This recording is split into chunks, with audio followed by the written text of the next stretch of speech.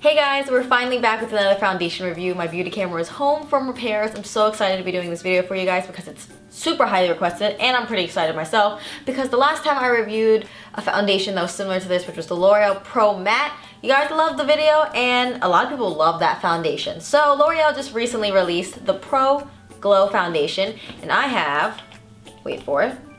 20 minutes later. Just wait for it. 5 of 12 shades available. So I just saw when I googled, there's a BuzzFeed article about how this foundation is definitely lacking for like tanner and um, deeper skin tones. Like the shades are just not there guys. There's a lot of fair foundation shades so that's a problem itself. The foundation itself retails for $12.99. It's been sold out on L'Oreal's website for a while. Hopefully they restocked. Amazon, same thing. I purchased mine on Ulta and I have shade 203, 204, 205, 206 and 207. And I have them all swatched out for you guys to see. I will be wearing shade 205, so if we usually match, then we are matching right now. I'm a little tanner because it's summertime. I naturally get a little bit more bronzy looking, not super tan or anything like that. So if you look at the shades that are on the screen right now, you can see 205 is directly in the middle, and it's definitely the only one that's kind of yellow, kind of golden, kind of the undertone that I need. It is natural beige, and natural beige always works out for me, 90% um, of the time, as I always say. So that's why I knew from the get-go I needed 205, and it was the hardest one to get into my hands. But luckily I got it. I have wear tested it already, so now I'm just filming the application clip for you guys because my beauty camera was out for repairs. So I filmed the wear test already, but we're still gonna go in our usual order of things.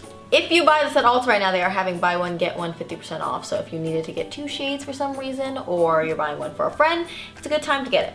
As far as the shades like surrounding 205 goes, they're really weird because the ones after 205 are kind of light and they all seem pink otherwise. So from like a, a normal person's eye, you almost could say they all look the same. But to me, you can see little variations, but they're definitely all pink, which is surprising. So let's jump straight into application. I'm gonna take this little hair clip, get my bangs out of the way so you guys can get the full look. Throw my hair back. This foundation is not recommended for my skin type at all, so keep that in mind.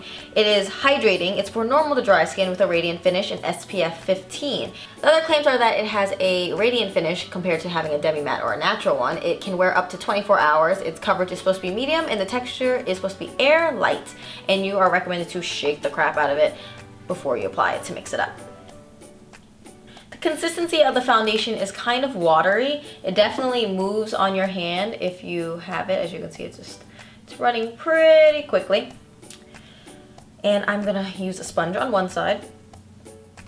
I got feedback on my Instagram that this has worked out for some people who have oily skin. So that was nice to hear. I don't really understand fully the concept because the foundation to me doesn't seem like shimmery or anything like that. It definitely has like a dewy finish, but a lot of foundations do, so I don't fully get the reasoning for it. The finish itself is a little too dewy for someone who has oily skin like myself, especially in humid summer weather, you know, close to 90s, is kind of scary to like rely on the foundation to just keep you at a good amount of glow compared to dripping shiny glow. So that's one layer of just sponge coverage, which I like a lot. And now for the brush. It doesn't smell weird. It doesn't have any blending problem. It definitely melts right into the skin. It looks like skin, so that is always a good thing. And the shade is perfect. I don't think a little bit goes a long way with this foundation. Not in my opinion. It's not like a lot of it is required, but it's definitely not like a tiny, tiny, tiny size amount. But the coverage is very nice. It's a very, very good medium. If not full, it's a very good medium. It covers all the redness and all of my acne scars. And if it had a little bit more of a demi matte finish for my skin type, it's a little bit of glowiness, then I'd probably be able to rock it without a powder. But let's take a picture to see if the sunscreen is gonna give us a white cast and for you to see the finish of it. From what I see in the flash pictures, there isn't really a white cast of anything. It still looks good and it definitely looks dewy. I let the foundation set completely before I took the pictures. So it doesn't seem like the SPF will be any issue. As you can see, the finish is definitely giving a nice glowy look um, on my forehead, on my nose, on my under eye area, but uh, you guys are just gonna have to wait and see. These are the few occasions where I already kind of know what happens. So hopefully you guys enjoy seeing the wear test and I'll see you guys at the end of the wear test. Let's get started.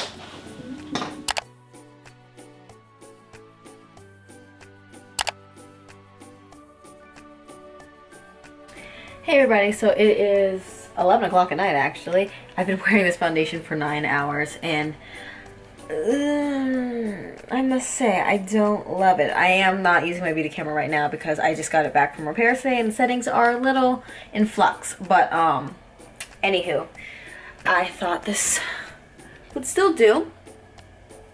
It um is really shiny guys and I will say that I had a good amount of powder on. I didn't use a face powder, but I mean, I did cream contour, so I set it with a bronzer. I had blush on. I had a powder highlight. I had, um, I set like my concealer. All this was set. Um, and this was set as well because I had like some light concealer to carve out my contour. So like a lot of it was set and yet I even had like some setting powder here and it light, very light setting powder and it's, ooh, it is oily. Um, I was outside in some humidity, so that might have added to it. So I don't know if I like this for summer at all. Maybe winter it would be better. A few people on Instagram said they had oily skin and it worked out for them. They were like giving tips on applications and stuff like that. Um, just, I don't like it, guys. And I mean, I know if you powder, it kind of kills the glow effect. I mean, my cheeks still look glowy, but keep in mind, I am still wearing a powder highlighter, so I don't think that really has to do anything to with like the foundation. I am really greasy. Like if I touch my face, it makes my fingers super shiny and it looks like everything's transferring off. I mean, everything's fine until you actually touch your face. It's like now I have a handprint. You guys see it? Handprint. That's not cute.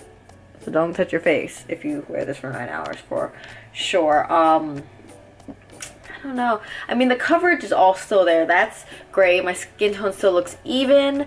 Um, my hair looks a mess because it's been nine hours. But I... Ugh. I don't know, guys. I feel like my contour faded a good amount. Um, my blush has faded a good amount. So it definitely wasn't holding things down. I like the Pro Matte better than I like this because I mean it is based more towards oily skin. Uh, I don't, I don't know, because it's supposed to wear up to 24 hours.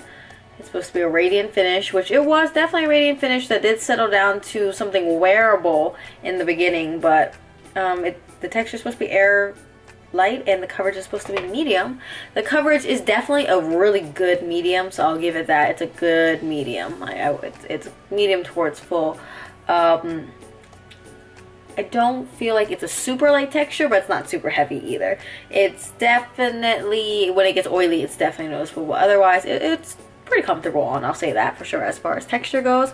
Otherwise, yeah.